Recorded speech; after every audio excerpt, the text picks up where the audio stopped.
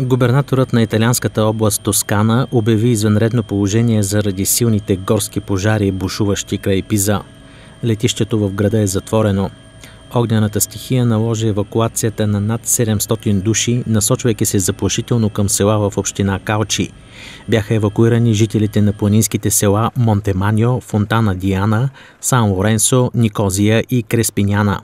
Към момента пожарът обхваща площ от около 600 хектара.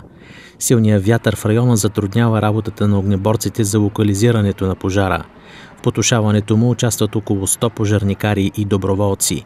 Два самолета и 4 хеликоптера гасят пламъците, като разпръскват хиляди литри вода и пяна върху тях. Предполага се, че огънят е тръгнал от местността Монтесера, която е разположена между градовете Пиза и Лука – през следващите дни не се очаква да вали дъжд, но синоптиците прогнозират, че ветровете ще стихнат, което би улеснило работата на пожарникарите.